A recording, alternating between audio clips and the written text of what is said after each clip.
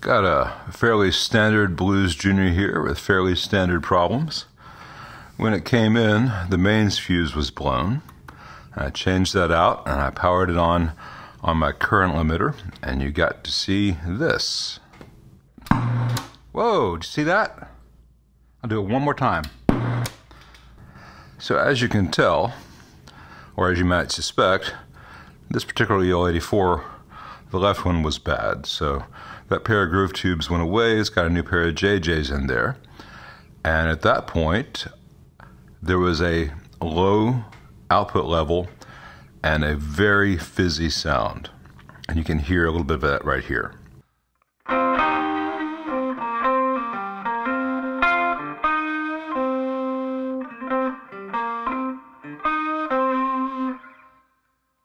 And that is the classic sound of an Class AB amp where one of the outputs, whether it's the push or the pull, is not working.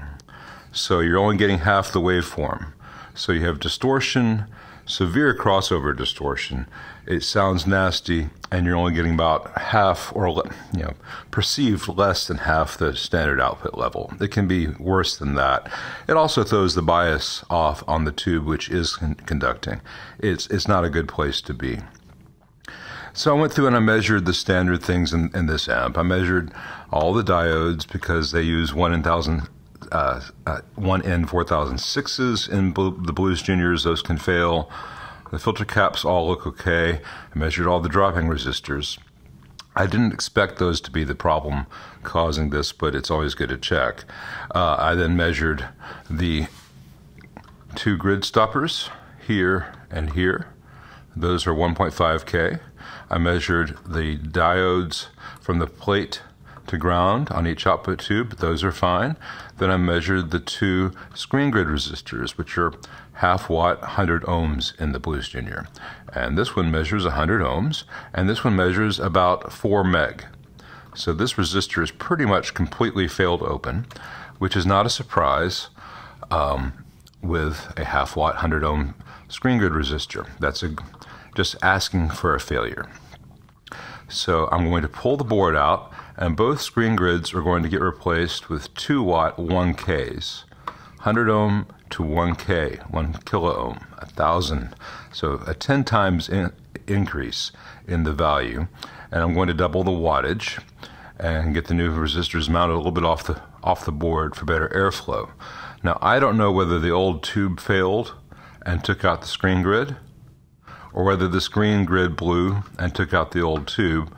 Uh, though honestly, I think it's probably the first because if this screen grid blew, it would make life harder for this tube, this tube, not this tube. So imagine it was this the tube died because of the too hot bias in these things, and that took out its screen grid resistor. I've already cooled off the bias, and I've already done my little standard mod to decrease the reverb depth because this thing was insane. The reverb on 2 was just over the top. And both those things were done with the owner's permission. And I explained to him the pros and cons. Uh, yeah, you know, it's it's two resistors. It's easily reversible. No big deal. It just makes the amp better. But the next thing to do to make the amp better will be give it the full output level and clean headroom that it's supposed to have. So let me pull the board and change these nasties out. And before I pull the board, I will go ahead. Well, let me let me show you one thing first my meter. This is just a little Descendi 18B Plus, which is about 20, 25 bucks online because my old Fluke died and I needed something really fast and I didn't have two, three hundred dollars sitting around to replace the Fluke with one a new one. And uh, this thing has worked really well for me. Actually, this is my second one. The first one lasted about a year, a year and a half. It eventually did die, but for 20, 30 bucks, I just ordered another one, and I'm going to get two more of these to have around, uh, so I can have a whole bunch of meters for metering more than one thing at a time. And I'll eventually spend the money to get some fluke that does everything. But seriously, for everything under 700 volts DC, including capacitance and diodes and stuff, this this little 18B plus is great. It's much better than anything I started out with, and it's it's good enough for me to use every day at a professional level. So, uh, for those who ask for it, let's make sure there's no DC in here. I've already done this, but I'll do it on camera. 2.987 volts DC. Same here. Same here. Now, this amp does not have standby, and an amp that has standby, you can have it powered off with a standby switch set to standby and measure zero volts on the mains filter cap, but have 300 volts on a preamp node because the standby uh, switch is in standby, which disconnects these caps from these caps. So to drain an amp, make sure it's not in standby, that it's in the play condition. This amp is safe. I could get in here. I could I could lick it if I wanted to. That that would be gross and weird, but um, no worries. So now I'm going to snip these two nasty little underrated screen grid resistors.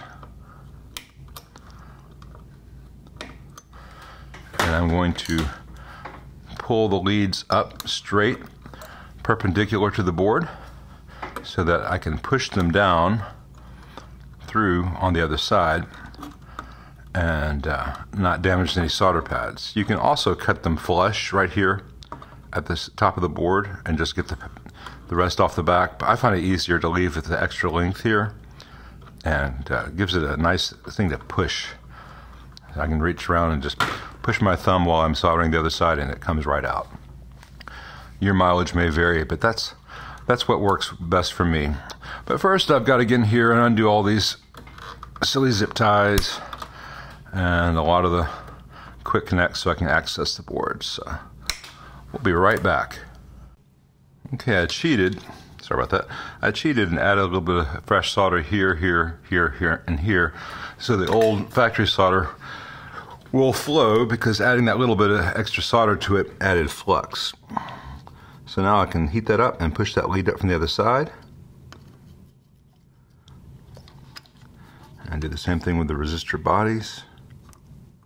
But the ends of these resistors have these little bent over bits. If I were to tug that through first, let me just rip up these little pads on the side of the board. Now, the leads that are not attached to the resistor, I can just pull up like this and they go away.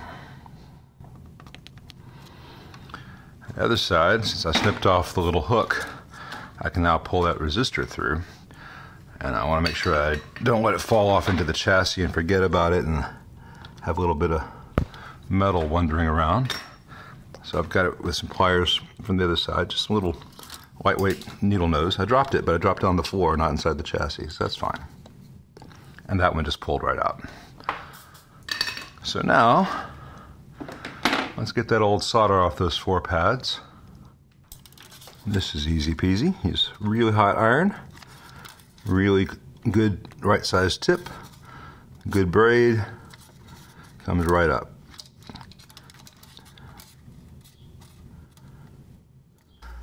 All the other resistors on the board have the stripe down, so this will have the stripe, the tolerance bound band down as well for consistency. It makes no difference electronically, but you know, uh, visual consistency is nice and it shows an attention to detail and if you're, what's the best way to explain this? If you're in a mindset where everything has to be matched and you're checking everything, you're more likely to be checking everything as you go and do a thorough job rather than doing on autopilot. If you're just slapping stuff in and you're not paying attention to that, what other things are you not paying attention to? Maybe that's just me, but it's it's a it's a focus thing. It's a my wife who does yoga would say it's a mindfulness thing. It's just kind of a way to be sure that you're in the right mindset. Sweat all the details, even the ones that aren't that important, other than just you know cosmetics. And the, the big stuff tends to follow suit. Notice I didn't bend the leads over. There's no real need. This is a really low mass part. There's not going to be any stress on that. All right, we got new one watt sorry, 2 watt 1K screen good resistors. And put this board back in place and we'll see what the amp sounds like. Oh, one other thing to show while I'm up here and I got the tripod in the area, so to speak. While I have these things apart, I like to get the dust off. So a quick swipe to get most of the dust. And you can see it's kind of yucky. Then I'll get in there with just a tiny bit of WD-40. Don't want to leave a greasy film. I'll apply it to the paper towel rather than directly to the metal. And that'll get those stubborn little bits up without uh, affecting the silk screen numbers and labels. You know, aside from looking nice, which is always a nice thing, when the owner gets the amp back and it looks better than it did when it came in, it makes people more amenable to my bill. You, know, you get a sense that you're getting something. You didn't just uh, give this guy some money and the amp magically works and you're not quite sure why. It looks like it ought to work better now, doesn't it? I think that's pretty important. Well, uh, I've tested it and everything's working fine. You can see the new ones. Where's a little pointer? You can see the new 1Ks here. And everything is well. Let me move it over to its uh, usual playing spot and let you hear it real fast.